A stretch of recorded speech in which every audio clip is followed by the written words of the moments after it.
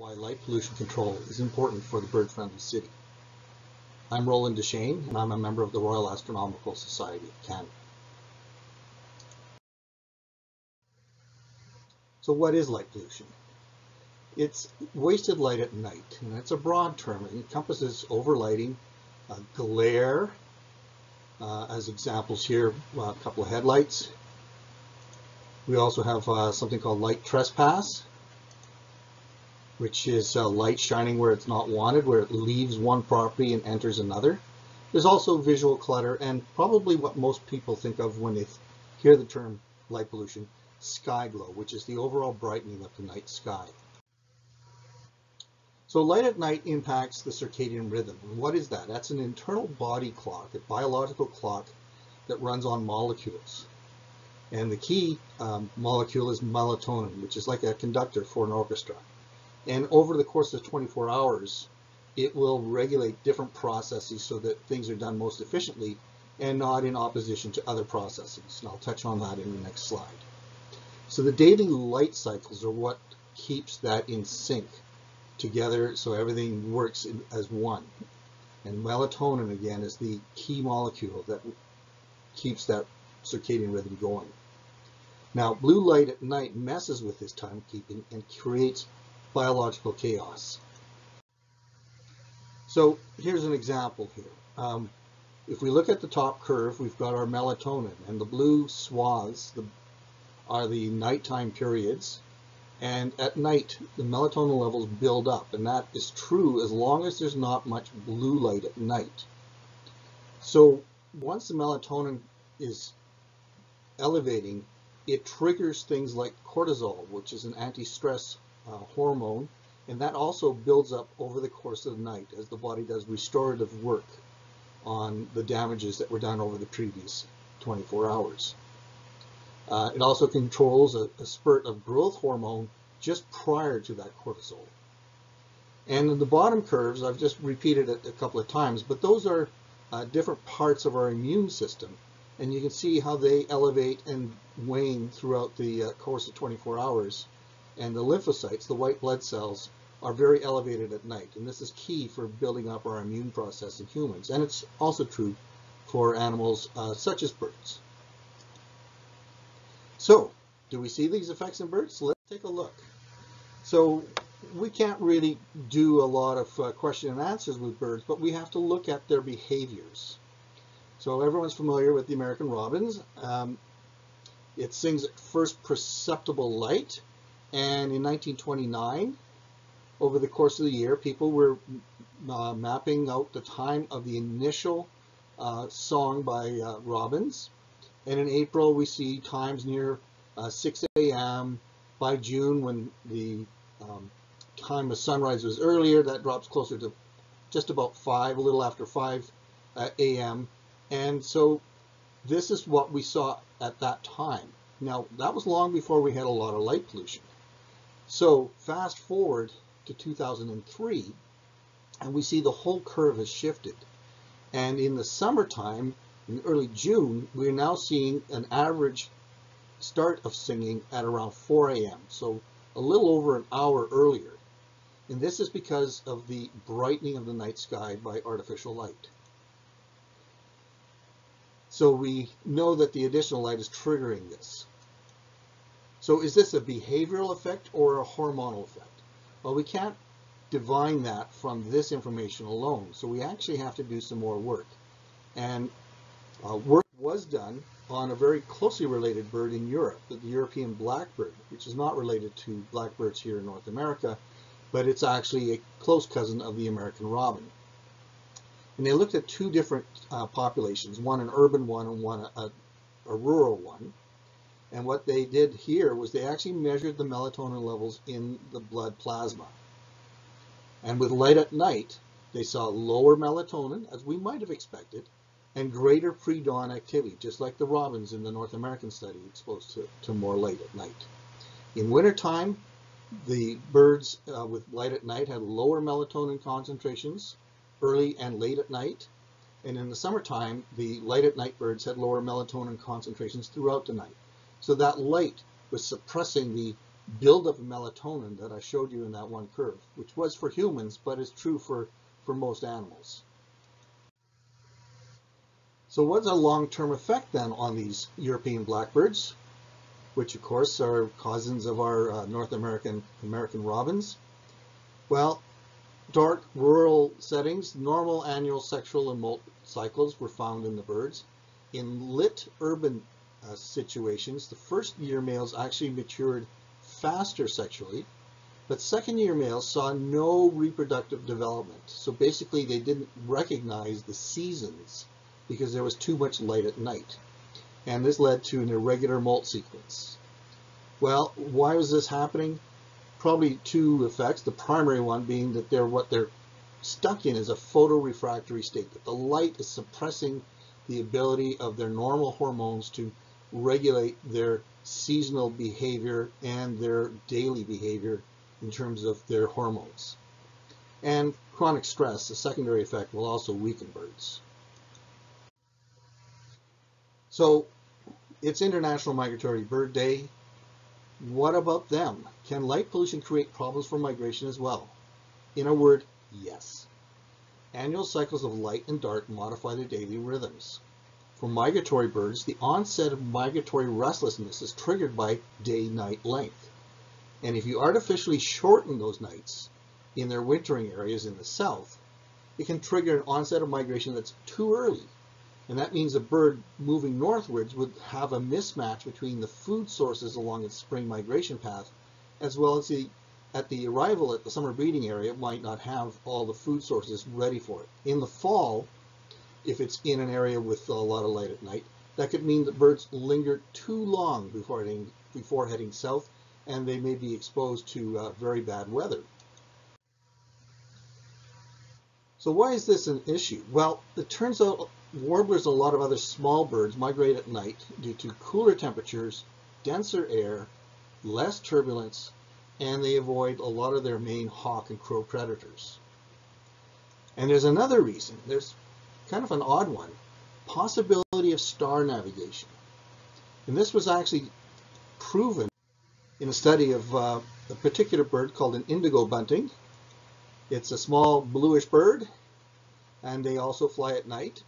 And it turns out over the course of the uh, raising of the young, the young learn the pattern of stars in the night sky in the circumpolar sky, which is the part of the sky that stays above the horizon at all times. So they basically learn what we would call the Big Dipper, um, Ursa Minor, Cepheus, and Cassiopeia with its M or W shape depending on the time of the year. Now, why is that an issue? Well, think about the light pollution from major urban settings. We've got Calgary and Edmonton, for example, in this diagram, and that's the, the light that's directly shining upwards, so uplight as uh, we researchers in light pollution like to call it. But that brightens the night sky over a broad area. And when we think about what that does, here's the influence of the uplight on the sky glow, the brightness of the night sky. You can easily imagine then that birds migrating in these areas would have a tougher time if they are ones that choose to navigate by stars when the, when the sky is clear. So light pollution, specifically this sky glow, portion of light pollution has the potential for large-scale disorientation of nocturnally migrating songbirds. Light pollution can also kill birds at a more local scale. For example, each year in Toronto, over a million birds are killed by colliding with buildings. And the Fatal Light Awareness Program, FLAP, um, has been a, a, vanguard organization for this. And in today's um, overall program, you've heard Kathleen talk about the work that's being done in the Calgary downtown with bird collisions and uh, with buildings. You would think, wouldn't illuminated buildings and structures be safer than dark ones? Our human brains think so, which is why we light things up at night. But I'll give you a counterexample I think you can all identify with, and that's this situation. We're used to winter driving and we would not think of using our high beams because this is the result. It looks like we've gone to warp in a Star Wars or Star Trek movie. So there are situations where light shining indiscriminately are not very good for our vision and wayfinding. And this is much more true for birds who obviously have a very different perception of the value of light at night. So why do lit buildings attract and kill birds? We simply do not know. We think that they can be confused by nighttime lights, and here's a, a building in Calgary um, with all of its lights on, and I draw your attention to the other image, which is a, a typical boreal forest scene. And if you're a small bird living in that forest, as many of our migrating songbirds would in the summertime, uh, would you be flying into the light areas or into dark areas on that photograph? And then think, if you're a bird flying through the downtown area of Calgary, would you be flying into the light areas or dark areas on that building? So I think birds probably have deep rooted insights and behaviors that we just can't understand, but maybe this is one of the things that leads to the devastating effects of light uh, at night, particularly with lit buildings and structures. And it can be a solid structure as well. Birds will fly into uh, illuminated walls uh, because they think that's a portal or a way through. The other thing is that birds don't want to fly out of a lit area once they're uh, in it. And they can, for example, and this is a heartbreaking example from New York City with the Tribute in Light. All of those white spots on the screen there are birds trapped in the beams of light, and they will fly around until they drop to the ground from exhaustion. Now, nowadays, this is a recognized problem, and of course, uh, September 11th happens in the middle of the fall migration period for songbirds. And now there are bird spotters, and these lights are turned off for about 15 minutes until all birds clear out before they're being re-illuminated. But this is a, a, a clear problem that birds are puzzled and attracted by light at night. I'm going to give you another example. It's an Albertan example, and it's not even with songbirds we had a huge uh, duck and geese kill at uh, one of the oil sands uh, facilities in northern Alberta.